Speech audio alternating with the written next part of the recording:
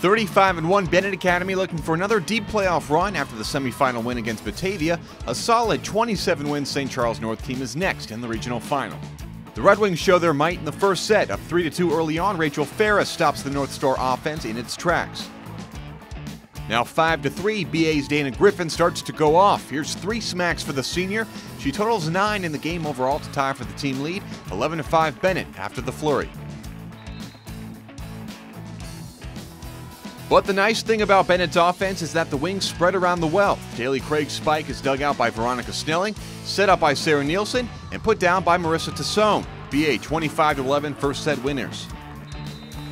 Early on in the second set, things are looking to stay the same. Red Wings up 4 to 3. Northwestern recruit Farah puts down one of her ferocious slams, four kills on the night.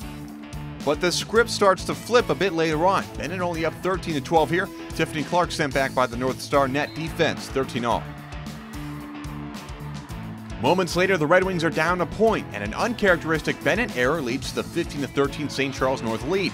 Brad Baker calls timeout. Benet goes up momentarily, but the North Stars are pesky. A kill here knocks the game up at 18 all.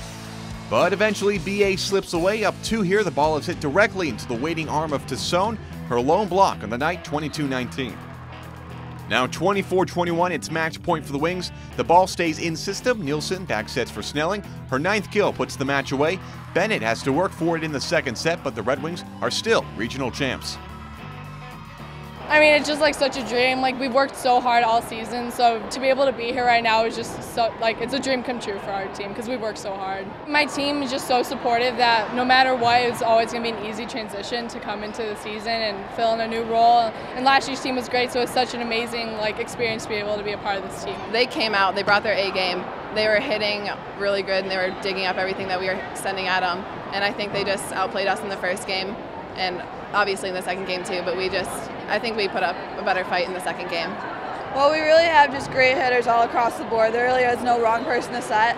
Plus, the back row gets up so many balls that there are just so, so many opportunities for our hitters. And we've been focusing on uh, the front row communicating with the back row, so I think we really want to step that up a little bit and just focus on that sort of thing going into sectionals. I mean, obviously being a senior, it's my last year here at North, and I know that I'm playing stand volleyball in college, this is like the last time I'll ever play indoor volleyball, and it's kind of bittersweet getting to say goodbye to it, but also like moving on to college. And I just, I mean, we had some great memories, and I loved all the girls on my team. It was just a great season overall. We were pretty successful. I mean, it's all just about our execution, working together as a team, and like we just need to communicate and be like, like when we work as a unit, that's when we're our strongest.